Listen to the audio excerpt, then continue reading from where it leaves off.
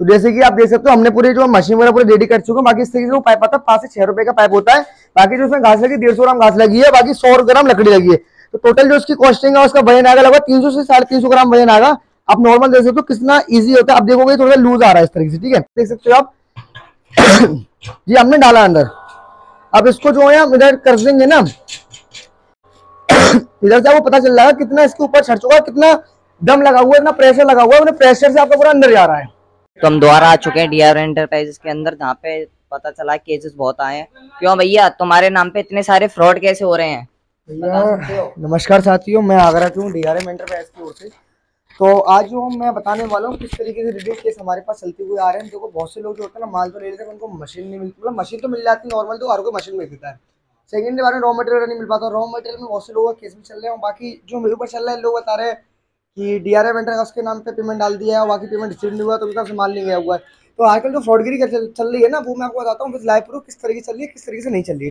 हाँ तो जैसे कि मैं आपको बताया, बहुत से लोग, हमारे जो नाम आएँगे, उसमें डीआरएम एंटरप्राइज के नाम से आएगा, जो कि फ़ोन पे पेटीएम गूगल पे आएगा फ़ोन पे के नाम से डीआरएम एंटरप्राइज आएगा या फिर ध्रुवपाध्य आएगा। अगर और कोई अन्यथा नाम आता तो उसमें पेमेंट मत कीजिएगा, क्योंकि वो बहुत से फ्रॉडगिरी केस चल रहे हैं, जो कि मेरे नाम पे पेमेंट रिसीव कर रहे हैं आप लोगों से। कुछ भी ऐसे एडवांस जो हमारा, जो मेरे मेन्यू अगर आप देखोगे ना तो मेरे पे साफ़ साफ़ लिखा हुआ है। आप अगर 60 percent payment in billing advance होता है after delivery बिल्टी customer to send and fully payment मतलब इसका मतलब कहने वाला ये है मेरा, जो सिक्सटी परसेंट हमारा जो पेमेंट रहता है, वो एडवांस में रहता है जो बिलिंग होती है। कश्मीर जिस नाम से बिलिंग होती है, आधार कार्ड, पैन कार्ड, जो भी कस्टमर देता है, जिस नाम से बिलिंग होती है आपकी सिक्सटी परसेंट हम पहले पेमेंट लेते हैं, बाकी फोर्टी परसेंट डिलीवरी के बाद लेते हैं। ठीक है, अब इसमें मोस्ट लोग क्या कहते हैं है सिक्सटी परसेंट मत दीजिए, जैसे आपको दस हज़ार का बिल हुआ तो मेरे को हज़ारों भेज दीजिए, आपको मैं माल भिजवा दूँगा, बाकी कैश ऑन डिलीवरी करवा देंगे। तो ये सब फ्रॉड कर रहे हैं और कोई हमारे नाम से बहुत से लोग फ्रॉड कर भी रहे हैं, बहुत से केस आए और उनके ऊपर केस चल रहे हैं। हमारे नाम से कोई ट्रांजेक्शन ऐसे नहीं हुए हैं डीआरएम एंटरप्राइज के। अगर आपको ऐसा लग रहा है कि मतलब फ्रॉडगिरी कर रहे हैं तो पहले तो आप इधर आइए विज़िट करिए। किस नाम से आप पेमेंट कर रहे हो, किस नाम से नाम पेमेंट नहीं कर रहे हो इस चीज़ का पहले तो ध्यान दीजिए। ठीक है, अब दूसरी बात ये रही, अब माल वगैरह का।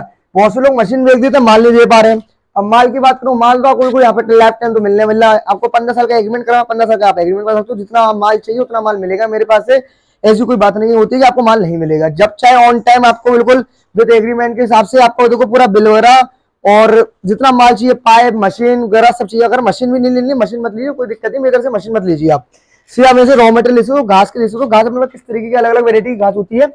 ये अपनी झाड़ू वगैरह की जो घास होती है, मैं इस तरीके की घास की बात कर रहा हूँ, जो कि एक सौ बीस रुपए के से अपनी स्टार्ट हो जाती है, सौ रुपए किलो तक। मतलब सौ, एक सौ बीस, एक सौ तीस, एक सौ चालीस अलग अलग वेरायटी अपनी घास स्टार्ट हो जाती है। आप इस सिक्स इसकी जो लागत आती है, तीस से पैंतीस रुपए की लागत आती है इस झाड़ू की, इस ब्रूम की, जो कि जो मार्केट में स्टैंडर्ड जो टाइम पे जा रही है, पचास से पचपन रुपए की जाती है, ठीक है? बाकी मैं और क्वालिटी की बात करूँ, आपको तो स्टील पाइप की क्वालिटी रहती है अपने पास इस तरीके की। क्वालिटी आप देख सकते हो, एक से बढ़िया बेहतरीन अपने पास क्वालिटी स्टार्ट हो जाती है, ठीक है? बाकी गजरे में भी आ जाती है इस तरीके से। और बाकी मैं आपको दिखाता हूँ मशीन किस तरीके से लोग जो बेच रहे हैं, आजकल इस तरीके से पूरी सिंगल डाई वाली मशीन देख रहे हैं। जैसे आप देख सकते हो, इधर आके आप देख सकते हो, किस तरीके से मशीन चलती है अपनी, किस तरीके से नहीं चलती है। जो कि पहले जो एक वर्जन चल रहा था इस तरीके से, पहले स्मॉल वर्जन चल रहा था, जैसे कि ये स्मॉल छोटी सिंगल डाई वाली मशीन होती थी, इसमें आप घुमाते चलिए, देखो आप कितना कम डिस्टेंस जो है कवर कर रहा है वो। आप घुमाते घुमाते घुमाते घुमाते जो है इसमें बिल्कुल परेशान हो जाओगे। कुछ नहीं होगा, कुछ बेनिफिट नहीं होगा, बहुत से लोग देखोगे अपने पास तो जो प्रॉपर चूड़ी वाली मशीन रहती है। बहुत से लोगों में क्या करते है कि इसको खोखला छोड़ देते हैं तो हम जैसे आप आगे धक्का दोगे ना तो बिल्कुल झाड़ू आगे बढ़ जाएगी। अपना वो वाला काम तो है नहीं है, बिल्कुल फ्रॉडगिरी वाला, ना कि अपना वो। आज सबसे पहले तो आके विज़िट करिए, किस तरीके से अपना बिलिंग रहता है, किस तरीके से क्या क्या होता है, बहुत तरीके से आपको इसमें लोग हल्का माल भेज देते हैं। ये देख सकते हो कि डाई किस तरीके से हमारी पूरी प्रॉपर फिनिशिंग से पूरी मतलब मशीनों से डाई बनती है अपनी, जिससे प्रॉपर झाड़ू की जो एंटी लॉकिंग हो जाती है, वो हो जाती है। अगर इसमें मैं कह रहा हूँ पाइप भी फंसाऊँगा ना पाइप भी अपना आगे नहीं जाएगा, इस तरीके से।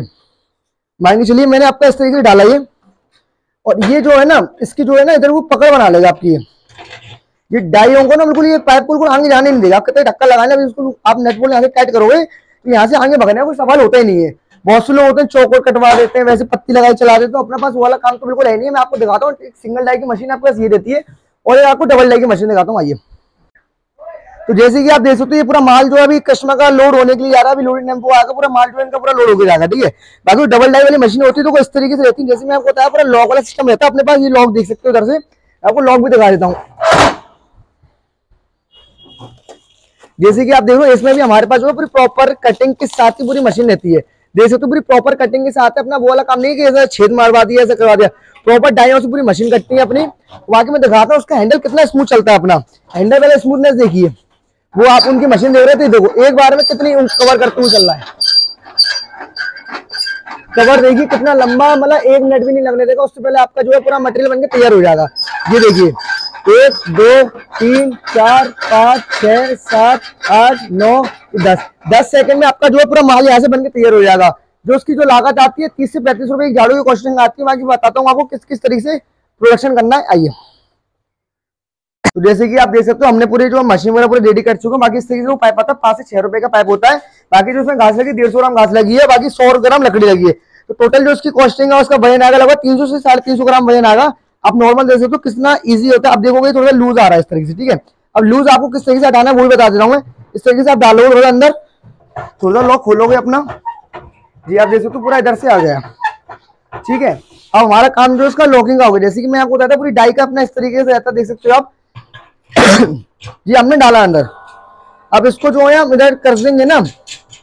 इसकी पकड़, देखिए पकड़ कितनी बिल्कुल मज़बूत सी है, बिल्कुल पकड़ बना रहा है अपनी जैसे दोनों डाइयों को टाइट करवा के, ऊपर से कोई एक जगह आपको टाइट कर देना है।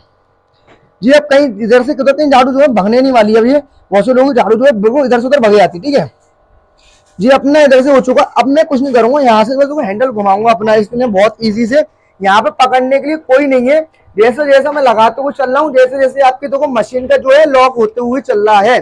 पूरी देख सकते हो कितनी बढ़िया सी कसावट आ चुकी है। यहाँ से पैप जो अपना दब भी नहीं रहा।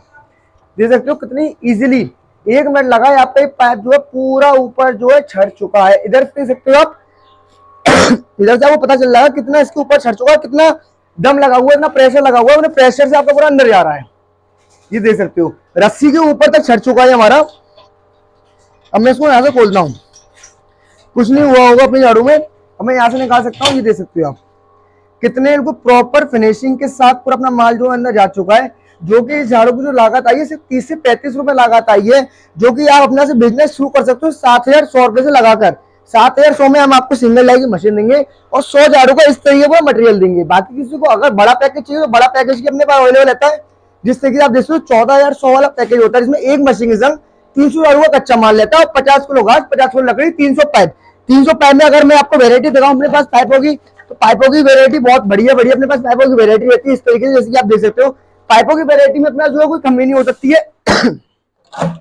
प्लस अगर आपको सीख झाड़ू का काम शुरू करना है तो सीख झाड़ू का पूरा काम शुरू करवा देते हैं। इस तरीके से आपको, ना तो आपको मशीन की ज़रूरत पड़ती है, ना आपको किसी पर आपको वेट करके अपना जो है माल बनाना होता है मार्केट में इस तरीके से।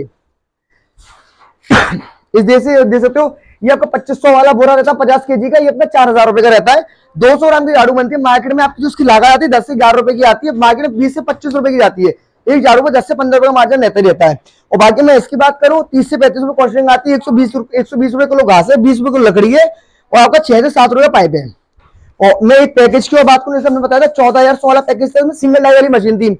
आप इसमें अगर सोलह हज़ार, सोलह देते अगर दो हज़ार का ऊपर आते तो दिवाली का ऑफ़र चल रहा है तो इसमें आपको जो है हम डबल डाई वाली मशीन भी दे देंगे। जैसे मैं आपको दिखाई थी डबल डाई वाली मशीन तो डबल डाई वाली मशीन में हम आपको वेलो करवा देते हैं उस चीज़ में। Thank you